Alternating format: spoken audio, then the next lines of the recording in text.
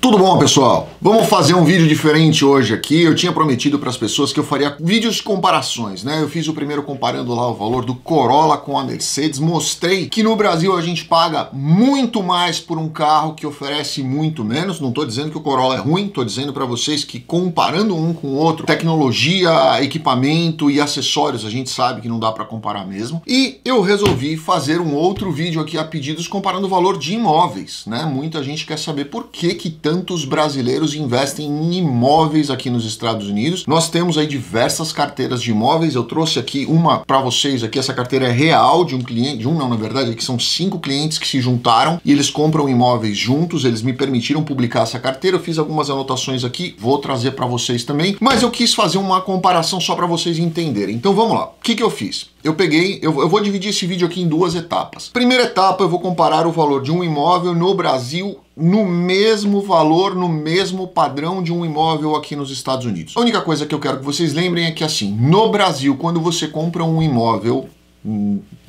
geralmente novo ou que alguém saiu dali, vocês não vão ter os appliances que geralmente tem aqui nos Estados Unidos. Então aqui vocês vão ter geladeira, aquela geladeira moderna, duas portas, às vezes três portas agora estão vindo aquela porta embaixo também. Muitas geladeiras estão vindo já com o painel, são novas, estão vindo com aquele painel digital onde você pede já ali os produtos direto pelo, pelo Alexa, pelo Amazon. Vocês vão ter micro-ondas, fogão, forno, secadora de roupa, lavadora de roupa, é, ar-condicionado central central, tudo isso já vem em todas as casas, tá? No Brasil não vem. Então vamos lá, vamos. Eu, eu peguei um valor aqui referencial. Eu tentei achar algumas coisas que a gente conseguisse coincidir, mas foi muito difícil porque quando você acha algo de um padrão semelhante no Brasil, ou a casa é muito mais cara ou a casa está muito acabada. Então, para eu achar aqui, eu achei um negócio bacana no valor de 2 milhões e meio de reais. Então vamos tomar referência aí 2 milhões e meio de reais na casa de 475 mil dólares, 460, 475 mil dólares, que é uma casa onde vocês conseguem comprar uma casa muito boa. Na Flórida, vocês conseguem comprar uma casa muito boa no Texas, na maioria dos lugares dos Estados Unidos, né? Ah, quero o centro de São Francisco. Não, vai pagar 10 milhões ali. Tá? Então não, não, são, são coisas distintas. Pé no chão, número real, vamos tomar como referência 2 milhões e meio de reais, uma casa no Brasil, uma casa nos Estados Unidos. O que, que eu fiz? Eu entrei no Bankrate aqui, que é um site, eu vou deixar aqui para vocês isso aqui, vocês podem vocês ir lá e fazerem aí o, os testes, eu vou pedir para colocar aqui ou aqui, em algum dos dois lados aqui, onde vocês vão lá poder fazer esses testes, são vários, eles comparam vários financeiras dos Estados Unidos, tá? Mas óbvio, eles vão perguntar qual é o seu credit score médio, se você tem um credit score bom, eu coloquei credit score bom, o valor de entrada de 20%, que foi o que me pediram no Brasil, eu fiz a minha é, simulação simulação no Brasil, eu vou deixar aqui também para vocês verem, e eu fiz essa simulação aqui nos Estados Unidos, tá? Então vamos lá, quando você coloca ali é, 475 mil dólares, eles vão dar 30 anos de, de financiamento, né? Vocês vão, vão pagar aí uma taxa um, mais ou menos aí, eles estão oferecendo aqui taxas de 2,6 a 2,75 ao ano, tá? Taxa de, de financiamento ao ano, 2,7, 2,8, alguma coisa assim. E aí eles colocam aqui algumas FIIs que vocês vão ter, né? Na hora de fazer a assinatura desse contrato, eles já estimam as FIIs aqui, varia muito de, de financeira para financeira, vocês vão vão ver aqui, tem o nome das financeiras, tem várias coisas onde vocês podem olhar. Esse aqui é um sistema que vocês acham na própria internet, mas quando você conversar com o seu corretor do estado onde você estiver comprando o seu, o seu imóvel, ele vai dizer para você, ó, o melhor aqui é esse aqui. Então, isso aqui é só um referencial, não, não precisa deixar aqui embaixo. Ah, Daniel, mas eu falei com o Pablo Farias e o Pablão disse para mim que o financiamento dele é menor porque a gente vai conseguir valores melhores. Vai, esse aqui é um referencial. Não vai ser muito abaixo disso e não vai ser muito acima disso tá?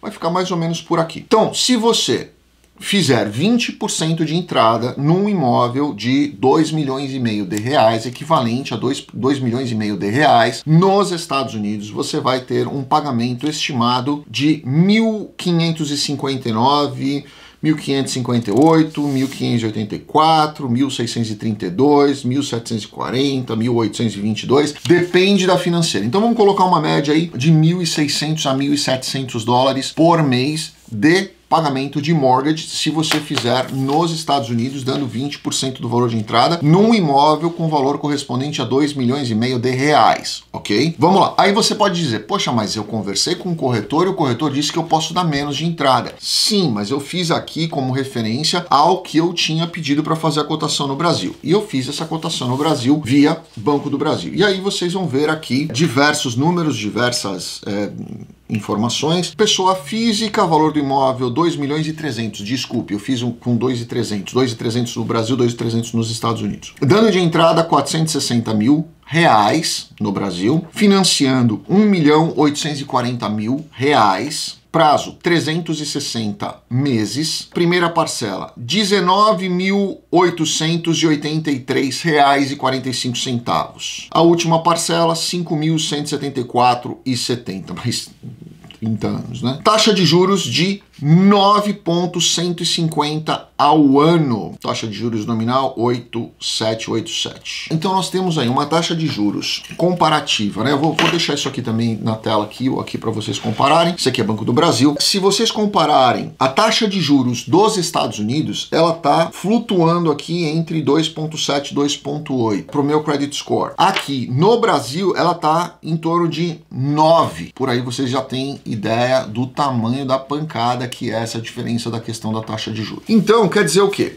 Na hora que você projeta isso, você fala, poxa, mas a taxa de juros no Brasil ela é mais alta, mas a minha última prestação eu estou pagando 5 mil. Soma cada uma delas, como eu fiz na questão do carro, para você ver. Você vai comprar um imóvel e vai pagar um imóvel e 35% a mais aí pelas contas que eu fiz. Tá? Quem puder fazer essa conta, faz, deixa aqui na, na descrição, fica fácil para todo mundo também, aí a gente tem um, um, um debate. Mas o mais legal não é só esse. Aí eu pedir autorização para esses meus clientes. Nós temos aqui umas, umas 10 carteiras mais ou menos de clientes. Cada carteira tem um número diferente. Eu vou deixar essa, essa tabelinha aqui, eu vou deixar aqui embaixo para vocês irem acompanhando conforme eu vou falando aqui. Então eu peguei essa carteira aqui específica porque ela é uma, uma carteira mista. Ela tem imóveis residenciais e imóveis comerciais. Todas as outras de todos os meus clientes, elas têm, às vezes tem mais pessoas. Tem uma carteira nossa que tem 15 pessoas, tem uma que tem 12. Essa daqui tem cinco pessoas, seis pessoas. Essa daqui ela é mista, ela mistura imóvel comercial com residencial. As outras, elas têm ou só residencial, ou só comercial, ou só construção. As pessoas constroem, seja residencial ou comercial, mas não para alugar. Então essa daqui é uma mista só de aluguel, tá? Então eu quis trazer aqui para vocês terem uma ideia. Com exceção de uma dessas seis pessoas aqui, todas as outras moram no Brasil. Uma mora em Portugal e as outras moram no Brasil, certo? Nenhuma dessas pessoas está aqui nos Estados Unidos, nenhuma delas mora aqui. Vamos lá, nós temos aqui um imóvel em Hollywood. Todos esses imóveis aqui eu participei das negociações, tá? Todos, todos, todos. Eu fui junto, escolhi escolhemos junto, eu dei meu palpite, falamos com corretores, os corretores deram palpite, analisamos. Então, eu conheço a história de cada um desses imóveis aqui. Um deles só eu não fui pessoalmente ver o imóvel. Todos os outros aqui eu fui pessoalmente ver. Então vamos lá. Nós temos aqui um imóvel em Hollywood, Flórida, um pouquinho para cima de Miami ali. Na época foi pago 138.800 dólares à vista. Não foi financiado esse imóvel. Foi esse pagamento foi em maio de 2019. Essa carteira é nova e, e é bacana para vocês terem uma, uma referência de, de, de números aqui. Uh, o valor atual desse imóvel 255 mil dólares. Aí você vai dizer para mim, poxa Daniel, mas houve uma alta de valorização agora na Flórida, esse valor é irreal. Eu sei que esse valor é irreal. Não acho que ele vá cair muito nos próximos dois, três anos. Tá? Mas pode ser que daqui uns 4, 5 anos ele perca aí em torno de uns 15% desses 255 mil. Talvez ele caia aí para, sei lá, para 210, 215. Esse eu acho que é um valor bem real dele. Mas 255 mil hoje vende, porque tem imóveis do lado ali pedindo 255 mil. Todos esses imóveis aqui nós tomamos como referência imóveis do lado ou no mesmo padrão que estão para vender ali na mesma rua ou no mesmo quarteirão ou na mesma, na mesma área ali. Tá? Então por isso que nós tomamos como referência essa, essa valorização. Uh, o aluguel anual desse imóvel aqui é 23.850. Divide por 12, vocês vão ter o valor do aluguel mensal. As despesas anuais, 5.380. Aí vocês vão dizer para mim, poxa Daniel, mas não gasta tudo isso num imóvel alugado. Não gasta, mas a gente sempre coloca como previsão o que a gente teve no ano anterior. Então às vezes dá manutenção em ar-condicionado no ano anterior, a gente deixa a mesma, a mesma verba orçada para esse ano. Porque se tiver, ótimo, temos ali o dinheiro no caixa, não vamos vamos ter dor de barriga. Se não tiver, ótimo, no final do ano a gente vai ter uma sobra de caixa para poder fazer a divisão do lucro tá? Então a gente sempre deixa aí uma gordurinha a mais. Então já incluindo aqui property tax, uma série de coisas. O mortgage não tem porque esse, esse imóvel não foi financiado, esse imóvel foi comprado à vista e o lucro líquido é de 18.470 dólares e assim sucessivamente. Se vocês forem olhar cada um desses imóveis, tem imóveis residenciais, tem imóveis comerciais, eu vou deixar aqui. Se eu for ler um por um, o vídeo vai ficar muito longo, mas vocês mesmos vão poder, eu vou pedir para deixar em tempo integral aqui embaixo para vocês irem lendo. Só lembrem uma coisa, né? Esse último imóvel de de Tombol, ele está ainda em construção. Ele é uma... foi construído um mallzinho, né? São 11 lojas que estão sendo construídas ali, mas não está pronto ainda. E esse meu cliente, esses meus clientes adquiriram uma dessas lojas só, porque eles querem testar ali aquela região. Quem conhece a região de Tombol ainda está em crescimento, ela está em desenvolvimento. Então muitos condomínios residenciais ali sendo construídos, inclusive o que eu construí foi lá em Tombol. Então são, são você vê muitas áreas livres ainda lá, eles queriam só testar primeiro esse, esse primeiro imóvel lá. Então ele ainda está em construção. Vocês vão ver que, obviamente, não tem é, nada de lucro, não tem nada de faturamento, porque ele está em construção. Devem entregar agora em maio desse ano. Então, esse é o único número que está zerado. Mas o que, que eu quero que vocês prestem atenção nessa tabela, que aqui começa o vídeo de verdade para a gente fazer número. Se vocês somarem o valor dos investimentos, e lembra, no investimento aqui, nós colocamos, nós computamos, obviamente, nos imóveis que foram feitos mortgage, nos imóveis financiados, nós computamos só os valores que foram devidamente aportados. O valor que foi financiado a gente não está computando como investimento, porque a gente ainda tem que pagar para o banco. Aí, obviamente, você deve pensar, poxa, mas o imóvel está se pagando, porque pelo que eu vi aqui, está sobrando lucro lucro do imóvel que está pagando. Ele está pagando o mortgage, está pagando as despesas e ainda está sobrando lucro aqui, 4 mil em um, 7 mil em outro. Então, quer dizer, ele está dando aí é, lucro, além de pagar o, o mortgage, né? Nós estamos falando por ano. Bacana, sim, mas nessa conta que eu vou falar com vocês agora aqui, nós só computamos o valor que efetivamente saiu do bolso e foi colocado no imóvel. Nós não computamos o investimento do banco. Nós só vamos ter o imóvel quitado depois que o imóvel efetivamente for quitado, né? Então, e a nossa ideia, na verdade, não é nem quitar esse imóvel, é explorar o que ele tem comercialmente aí por cinco anos, esperar a valorização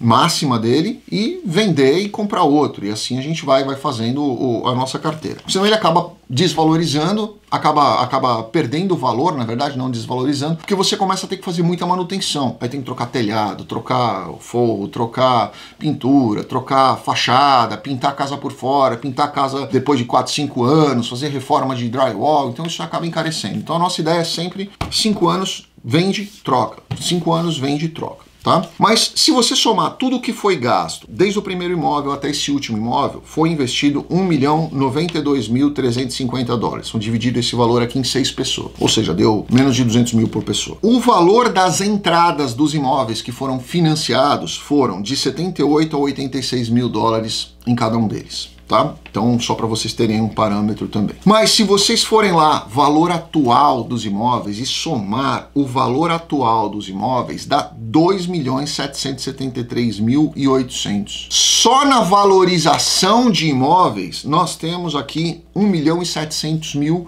de lucro. Ah, mas aí, Daniel, precisa pagar essas duas casas altas aqui que estão, na verdade, três casas altas aqui que estão de 300 mil aí, a gente deu entrada de 80, então tem mais um milhão para pagar. Ok, vamos tirar então um milhão desse, desses 2 milhões e 700 aqui, vamos tirar um milhão dele, fica um milhão e 700 no bolso. Então quer dizer, nós gastamos um milhão e 92 mil e temos hoje só com valorização, fora o que a gente recebe de aluguel, só valorização imobiliária, nós temos 700 mil dólares aqui de valorização. Então quer dizer, de 2019, 2020, 21 Agora entrando em 22, dois anos e meio aí, nós tivemos 700 mil dólares só de valorização imobiliária pela questão da dolarização. Aí você pode pensar também, poxa Daniel, mas se eu tivesse comprado uma casa no Brasil, a casa também valorizou. Valorizou, vamos dizer que ela tivesse valorizado 700 mil reais, são 700 mil reais. Se você valoriza em dólares, são 700 mil dólares, ou seja, é 700 mil vezes 5.5 aí, pelo menos, para a gente poder fazer essa, essa conversão. Então quer dizer, o seu investimento dolarizado, ele vale 5 vezes e meia mais mais do que a mesma valorização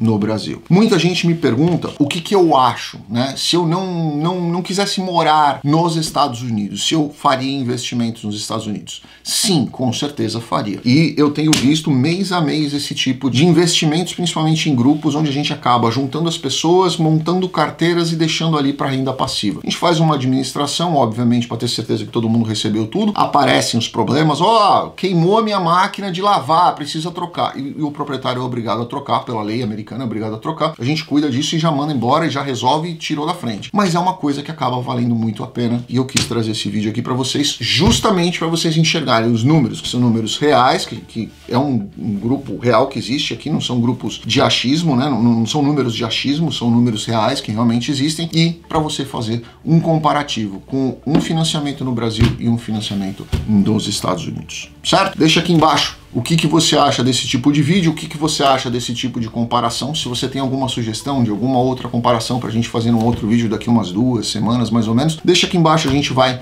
tentando fazer para que as pessoas consigam enxergar as diferenças, onde tem vantagem, onde tem desvantagem.